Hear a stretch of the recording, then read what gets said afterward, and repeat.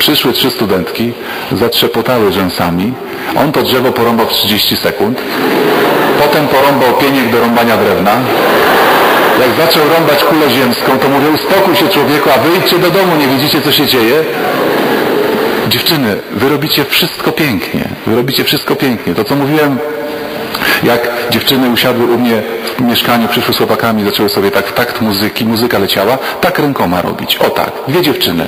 Chłopaki tak na nie popatrzyły i próbowały zrobić to samo. Te kończyny górne nieudolnie się wyginały. Panowie, my tego tak nigdy nie zrobimy. My tego tak nigdy nie zrobimy. To trzeba, to trzeba, być, to trzeba być kobietą. Przychodzę do moich kolegów, którzy mają córki, zaczynamy pić kawę, córeczka wychodzi, zaczyna się kręcić, sukienkę, zaczyna sobie włosy rozpuszczać. Więc co ona chce? Powiedz jej, że jest piękna, bo nam nie da spokoju. No powiedz jej, że jest piękna. To jest, to jest ten temat. Czy zwróćcie uwagę, jak jesteście w galeriach sztuki. Jesteście w galerii sztuki, nie na jednym obrazie, czy będziecie w Budapeszcie, w Pradze, czy w Paryżu, kobieta. Ona leży na sofie, ona ma kwiat pięty we włosy, ona jest często naga, to jest akt, ludzie stają, mówią, Boże, jaka piękna, coś mi napełnia. A idźcie do galerii sztuki i poszukajcie obrazu, że facet leży na sofie. A jak facet leży na sofie, to się chce powiedzieć, stary, wyjście jakąś robotę, to tu jak leżysz na sofie. Bo my nie jesteśmy od tego. I to chcę powiedzieć, bo Pan Bóg to tak wymyślił. Kobieta ożywia mężczyznę. Kobieta swoim pięknem ożywia mężczyznę. Kobiety robią wszystko. Kobiety pięknie płaczą, kobiety się pięknie śmieją, kobiety są pięknie bezradne, kobiety się pięknie mylą. To wam, nie, wam nie opowiadają tym, co kobieta jechała tym maluchem? To wam mówiłem. No, kobiety są pięknie, pięknie bezradne. I teraz świat chce to zamienić. Świat chce pomieszać. Pan Bóg stwarzał świat rozdzielając. Jasność oddzielił od ciemności, słońce oddzielił od nocy, ziemię oddzielił od wody, ptaki oddzielił od ryb, ssaki oddzielił od ptaków. Pan Bóg różnicuje. Kobietę oddzielił od mężczyzny, żeby to wszystko było piękne. A dzisiaj świat chce pomieszać. Idzie się ulicą, patrzę, idzie ktoś przede mną. Facet czy kobieta? Nie, kurczę. Facet? Nie. Kobieta? Nie. Facet.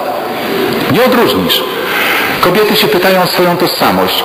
Kim ja mam być? Co to znaczy dzisiaj być kobietą? Jak to co to znaczy? Masz być jak facet. Masz pić wódę jak facet, przeklinać jak facet, walić w gębę jak facet, kierować samochodem jak facet, studiować jak facet. Masz wszystko robić jak facet. Masz wyglądać jak facet, dżinsy, krótkie spodnie, papieros. To jest nowoczesna kobieta. A mądre kobiety mówią, ale ja nie chcę być jak facet. Ja jestem kobietą, ja chcę być kobietą. Co to znaczy dzisiaj być, być właśnie kobietą? Światło miesza. Zwróćcie uwagę, jak nieraz idę na Starym Mieście w Warszawie, idą te panie ze Straży Miejskiej, blondyneczki, śliczniutkie, 1,60 m wzrostu, czy tam troszeczkę wyższe, zgrabniutkie, eleganckie i takie pały mają tutaj przy pasie. Ja nieraz myślę, kurczę, żeby mnie taka zaatakowała. Chciałbym zobaczyć, jak tam, przepraszam, może jestem pyszny, może bym po głowie dostał, ale jeszcze one mają ten gaz w aerozolu tu przy pasku. Faceci siedzą, piją piwo na Starym Mieście i mówią, ty, zobacz, ona ma lakier do włosów jeszcze przy pasku.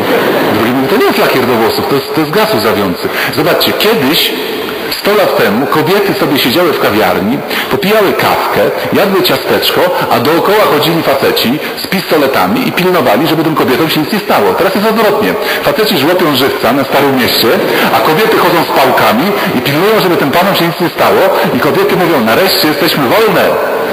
Trzy tygodnie temu włączyłem radio rano, komunikat. Nareszcie kobiety uzyskują pełne uprawnienie i już niedługo będą mogły pracować w kopalni na dole. Ale mi sukces. Dawniej kobiety chodziły sobie do manikurzystki, palce poprawić, paznokietki, a teraz fedruje taka jedna z drugą, prawda? I jakieś tam ładunki wybuchowe zakłada. Słuchajcie, trwają nieraz w takich w domach, kto rządzi, kto rządzi, czy rządzi kobieta, czy mężczyzna. Jak to, ma, jak to Pan Bóg wymyślił?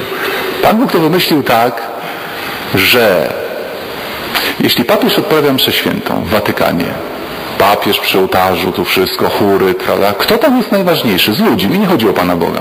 Ktoś powie, no papież. Nic z tego, ceremoniarz.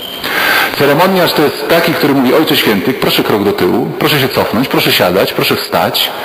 Ceremoniarz rządzi. Myśmy kiedyś mieli jako klerycy niesamowity ubaw w seminarium, jak ksiądz prymas odmawiał modlitwy w Wielki Czwartek i coś mu się pomyliło. I ceremoniarz, zwykły ksiądz, mówi do księdza prymasa, stop!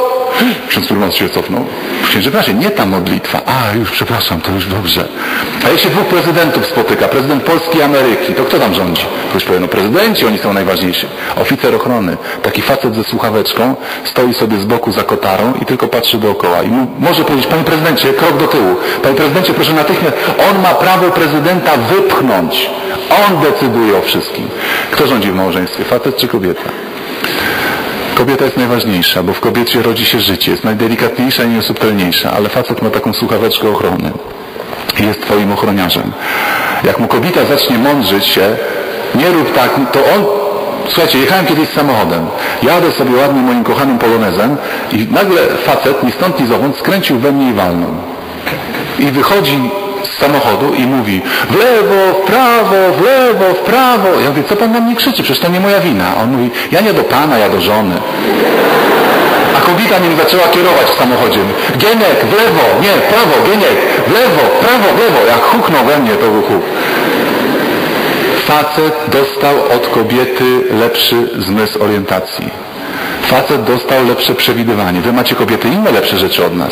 To wiele o innych rzeczy. Ale facet jest oficerem ochrony i facetowi trzeba po, po, pozwolić to zrobić. Tylko, że dzisiaj to szwankuje trochę. Ponieważ świat staje na głowie, faceci nie są oficerami ochrony swoich kobiet i kobiety przejmują rządy. Co zrobiła Ewa w raju? Zwróćcie uwagę, przyszedł szatan do Ewy i w co uderzył? No właśnie w to. Ewo, ja będę oczywiście nie, nie cytował Pismo Świętego dosłownie, ale to była rozmowa taka. Ewo, Pan Bóg ci dał wszystkie drzewa? No nie, właśnie nie dał mi wszystkie. A widzisz, gdybyś ty była piękna, gdybyś Boga zachwyciła, to Bóg by ci dał wszystkie drzewa. Ale ty nie jesteś piękna.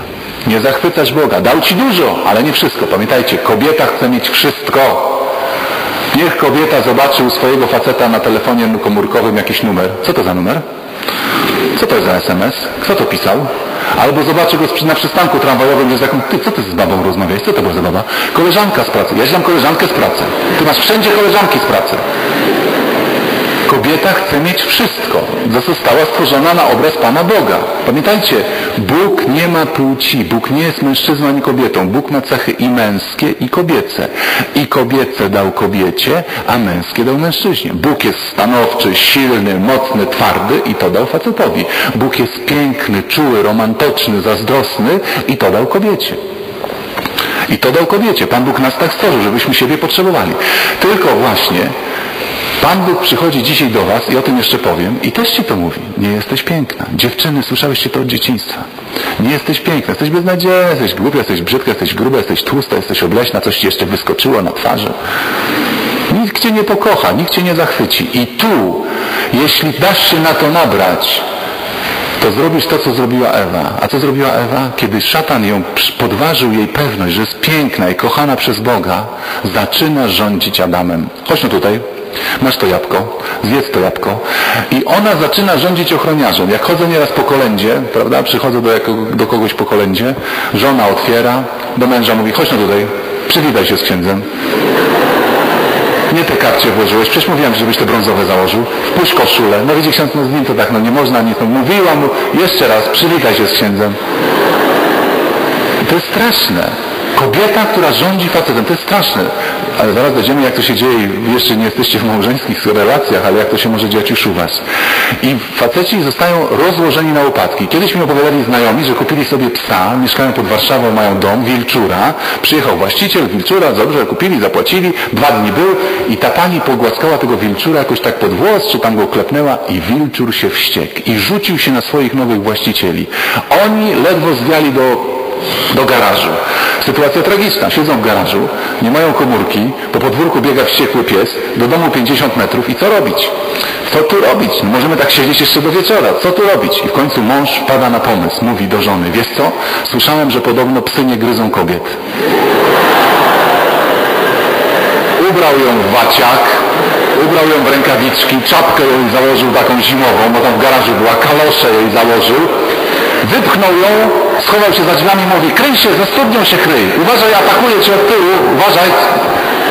Panowie, Wielu facetów, jak coś się złego dzieje, to mówi do kobiety, idź ty załatw. Ty tam można te bilety kupić do kina. To idź ty tam załatw, bo ty tam już, ja tu będę czuwał.